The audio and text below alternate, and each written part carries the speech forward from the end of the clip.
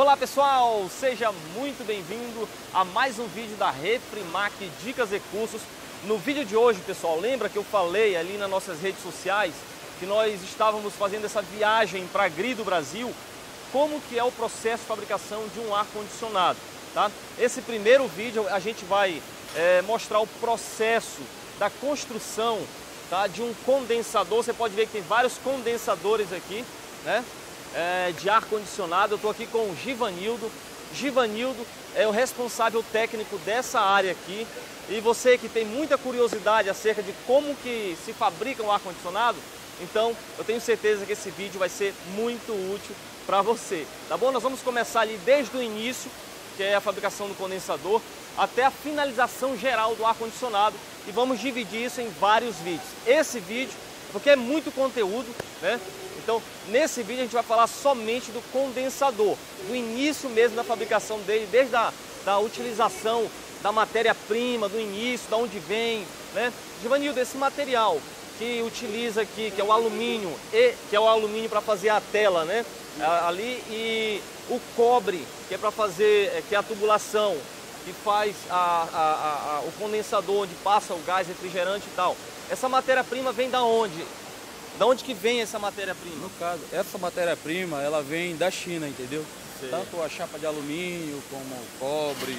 Certo. Aí chega aqui, ela é toda processada para transformar num condensador, né? Isso, então, você vai comigo agora lá, mostrar para o público aqui é, como que é esse processo. Você é dessa área do condensador, certo?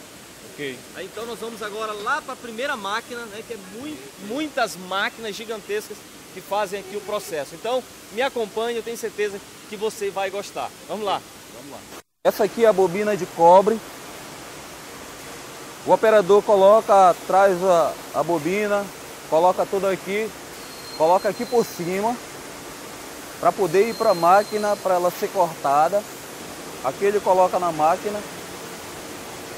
Como vocês estão vendo aqui, o cobre passando por aqui, ó.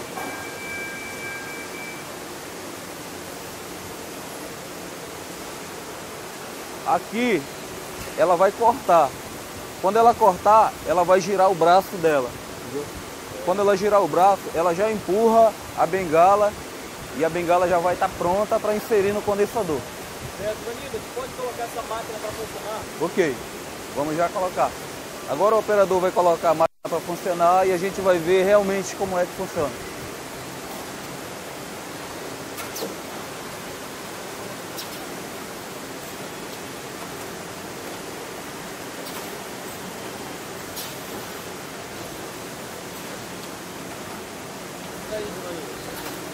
Ok, Givanildo, ah, essa máquina aqui, todo esse maquinário é simplesmente para fazer isso aqui, essa curva aqui, ó. Correto? Correto? É muito trabalho, né? Olha aí, pessoal, vocês aí que instalam ar-condicionado, quando vocês pegar essa tubulação no condensador, vocês agora vão saber que todo esse processo aqui, nesse maquinário, para fazer cada uma dessa, dessas curvas aqui, ó. Então tá aqui, ó. É o nome disso aqui é bengaleira. Então, bengala. bengala, né? Então, Bengaleira. bengaleira. Então toda, toda essa tubulação é o que vai lá na- no condensador de um a um, certo? Agora a gente vai para a próxima máquina para continuar o processo, tá bom? Ok, Vamos lá? vamos lá. Beleza. Ok pessoal, agora a gente vai mo- mostrar em uma outra máquina para vocês é, como que é feito aquele alumínio, aquela tela de alumínio que, que vem no condensador, tá? Que são várias fatias finas de alumínio que essa máquina corta, né? E faz o molde certinho, os buraquinhos é, da- da- da- do, do alumínio do condensador. A gente vai mostrar agora lá, certo, Ivanildo? Isso, vamos Então lá. bora lá? Vamos lá. É uma bobina bastante grande. Ela tem equivalente 1.000 kg e 400 por aí de peso. Vai por aqui por dentro para colocar lá na máquina. Aqui coloca aqui, ó.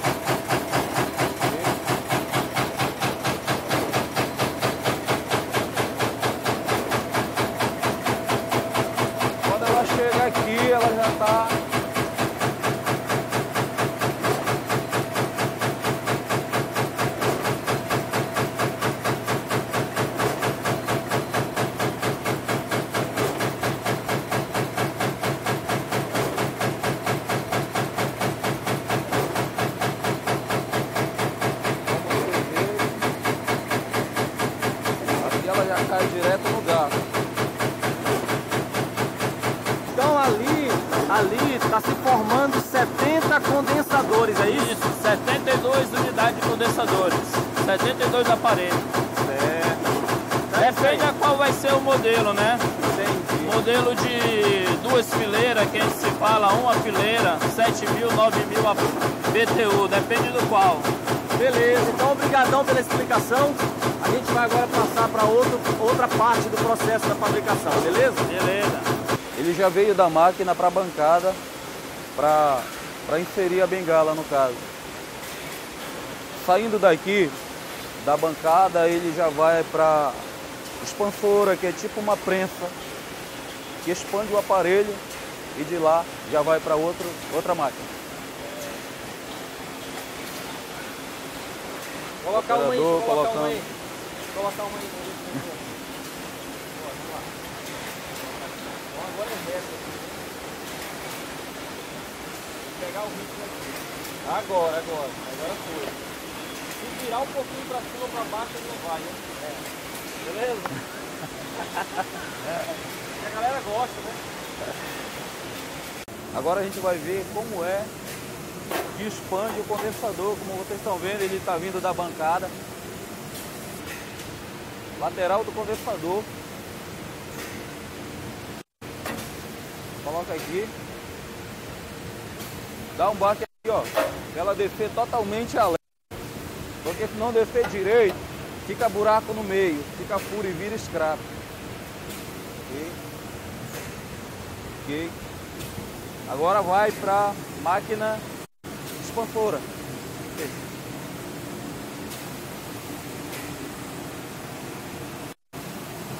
Aí ela vai ela vai fazer a expansão para no caso as aletas elas não ficarem entendeu?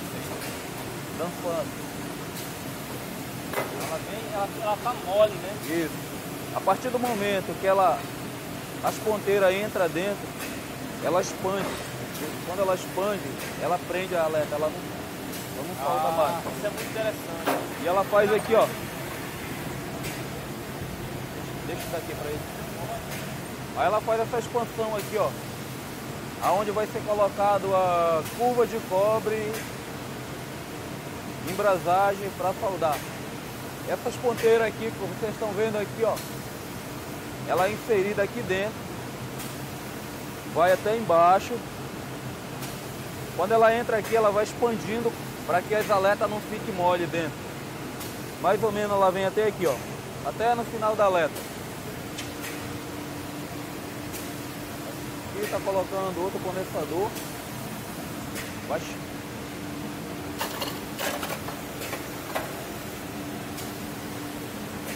Aí as ponteiras aí inserindo.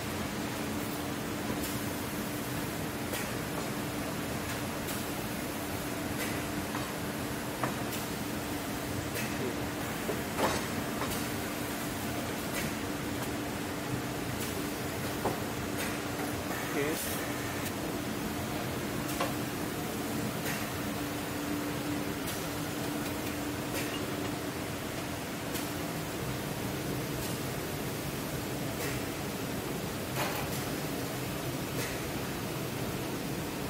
Essa máquina durante o dia ela, ela fabrica uma faixa de 650 aparelhos por dia. Ô Givanildo, todas aquelas, aquelas varetas de ferro lá, elas entram dentro da tubulação, não é isso? Isso, ela Pelo entra- que eu entendi, para ela expandir a tubulação. Isso, isso mesmo. A partir do momento que ela entra, ela expande o tubo para as aletas não ficarem Folgada. né? Então o condensador ali está todo folgado. Todo folgado. Isso. Deixa eu ir lá ver Você direitinho. tá vendo?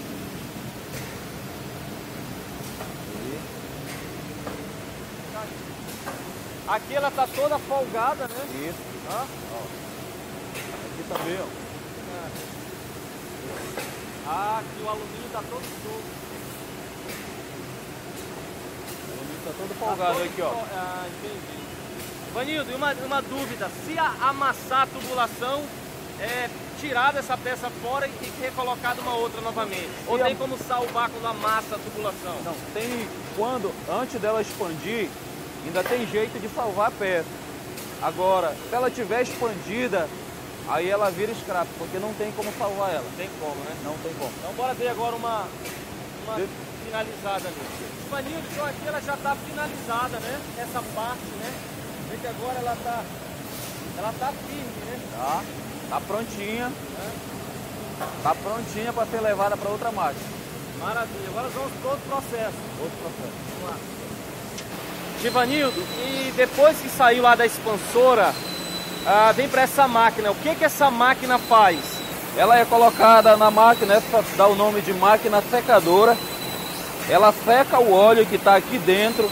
Esse óleo que está dentro do tubo é o óleo que é que quando ela passa em bengaleira para cortar, para não, que, não quebrar a lâmina da bengaleira. E ela vem com um pouco de óleo, um excesso de óleo dentro do tubo. E ela é passada na máquina para secar esse óleo, tanto do tubo quanto da elétrica. Colocada aqui. Aqui ela vai por dentro da máquina. Vocês estão vendo? Ela vai sair aqui na frente. Já quando ela sair aqui, ela já secou o óleo dela. O óleo dela já está ok. Ô Givanildo, pelo que eu vejo, é um processo muito grande, né? Givanildo, tu arruma um emprego aqui na Gri pra mim? Tá contratado, tá contratado.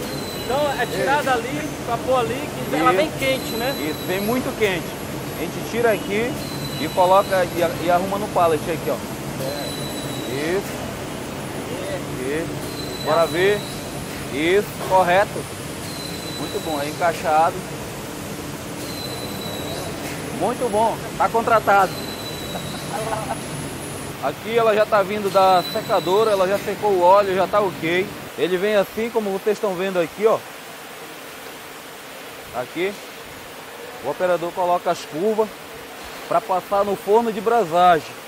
Essa detalhe aqui, essa curva ela contém anel de solda. Quando passa na solda, esse anel ele solda automaticamente, entendeu? E o que não solda, o soldador lá na frente, ele solda com maçarico.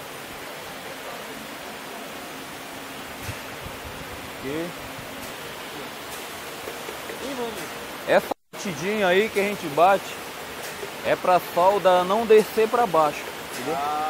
Aqui tu bateu, tu viu que ela chegou, ela encostou na expansão aqui, ó. Tem uma expansão aqui, tá vendo? Sim. Isso. Se ela não encostar nessa expansão, ela é arriscada entupir o aparelho.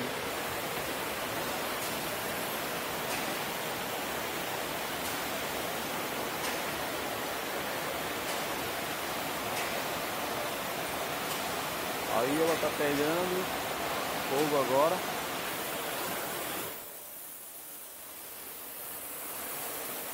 Esse fogo verde aí, esse fogo verde aí é o gás fluxo no caso, para dar uma dourada aí nas curvas, pra, porque se não tiver o gás fluxo, a curva queima e não faz uma solda boa. Então aqui ela já tá soldada, né, Givanildo? Isso. Como vocês estão vendo aqui, a curva tá vermelhinha, ó, é o gás fluxo. Se não tiver o gás fluxo, Gravando, Givanildo, e essa máquina aqui, o que, é que ela tá fazendo, Givanildo? Bom, essa máquina aqui, a dobradeira, tem o nome de CNC. Ela dobra descarga, dobra sucção. E quando a descarga, no caso é a tubulação do aparelho, compressor, essas coisas. Quando ela está pronta, posta no carrinho, ela já vai direto para a produção. Mas a, a descarga, ela dobrou aqui, já está ok, já vai direto. Mas a sucção, ela tem que ser é, soldada, tipo kit. Como vocês estão vendo aqui, ó. Aqui ela está completa. No momento ela está dobrando só essa peça aqui, mas ela é composta de três peças. Aqui, o filtro e esse U aqui. Vocês estão vendo? Aí daqui vai para para bancada de solda, para os soldadores soldar, que transforma nessa peça aqui. Agora nós vamos ver a máquina flangeadora. O que, que ela faz, o processo dela. Essa daqui é dá o nome de descarga. do aparelho. Viu uma daquela expandida ali? Tá aqui, tá aqui, tá aqui. Aqui, ó. Aqui ela fez uma expansão, como vocês estão vendo aqui, ó. Uma expansão. E do outro lado ela fez uma redução.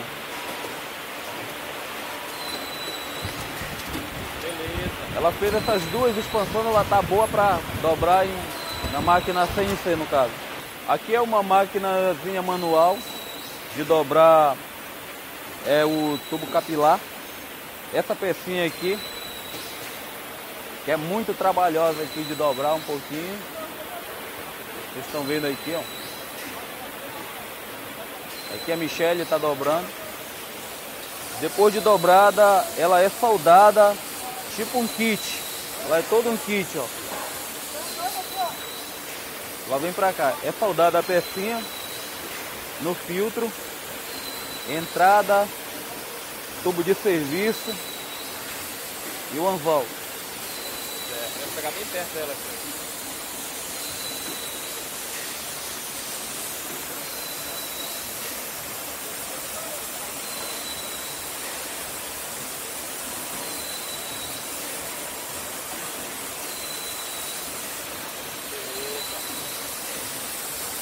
Aqui o Igor está soldando o kit de sucção no caso. O, o filtro.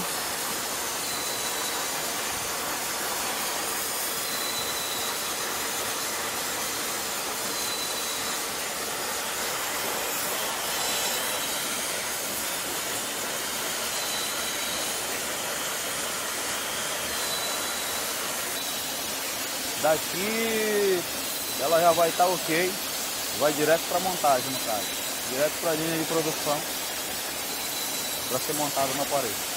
Aqui o Júnior está soldando o kit capilar. Como vocês sabem, ele vem todo separado. Esse pecinho aqui, Júnior, me dá uma aqui. Aqui, ó, ele está todo separado. Aqui ele está juntando as peças para soldar. Ele vai transformar num kit, como vocês estão vendo. Ele vai ficar dessa forma aqui, ó. Que ele já tá ok. Olha o seguinte, tem que ter bastante cuidado porque tem que ser um soldador bem treinado, porque senão ele pode entupir o fio. Como o tubo é bem fininho, é muito... Mas depois que é soldado, é passado por um processo de teste, com certeza, né? Para saber se ele ficou entupido Isso. ou vazamento, né? Vai para a máquina de teste de vazamento. Aqui é a máquina de teste de capilar.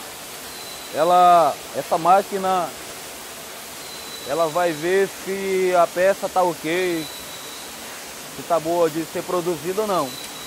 Ela chega para cá para testar, como aqui o Zael está testando. Se ela tiver entupida, ela vai dar vermelho ali.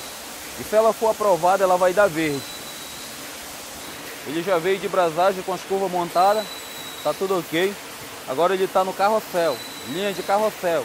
Aqui a gente vai soldar o tubo de entrada e o tubo de saída. Tubo de entrada, tubo de saída. Pra gente fazer o teste de vazamento, se tá ok ou não. Vai para frente. Aqui o soldador, nessa parte aqui o soldador solda, entrada e saída.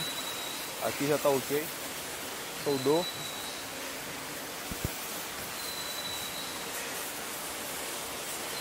Aqui. Aqui o rapaz coloca o biconete, o material aqui, ó, biconete para ele dá um nitrogênio e serve para ver se o aparelho está entupido ou não. Se tiver entupido, ele não vai sair nenhum ar aqui, ó. Ele conecta aqui e ele dá uma pressão aqui para ver se sai aqui. Como tá vendo aqui, ó. Se o aparelho estiver entupido, não vai sair, não vai sair nada aqui, ó. Aqui é a, é a mangueira de nitrogênio. Ele vai inserir a mangueira aqui para dar o nitrogênio. Ele vai colocar o nitrogênio e, ele, e a máquina mesmo ela retira. Quando ela retira, ele desconecta e já vai para outro processo. Nitrogênio para qual função? Bom, é pra. É pra fazer. pra limpar o aparelho, entendeu? Essa mangueira aqui é a mangueira de vácuo. Ela vai dar o vácuo no aparelho e após ela liberar uma luzinha aqui verde, quando ela, ela acende a, a, a luz verde, ele retira a mangueira e conecta a do gás, no caso. Entendeu? A do gás vai lá para a máquina de teste de vazamento. Essa máquina que vai detectar se a peça está ok ou ela tem vazamento. Se ela tiver vazamento, ela vai acusar, ela vai dar uma, uma luz vermelha aqui, ó. Esse botão aqui. Luz vermelha. Se ela tiver, se a peça tiver ok, ela vai dar uma luz verde. Ok, pessoal, vocês viram aí, a gente chegou ao fim desse vídeo, é, da parte do condensador, como tudo é feito. Eu sei que você deve ter gostado desse vídeo, ficou muito bacana. E a gente vai agora para outro setor para dar continuidade no processo da fabricação do ar-condicionado. Beleza? Então quero te ver no próximo vídeo. Se você gostou, curta, compartilha, comente no nosso canal. Isso vai me deixar muito feliz, beleza? Tchau, tchau, meu. Muito obrigado pela sua audiência. Nos veremos no próximo vídeo, se Deus quiser. Valeu!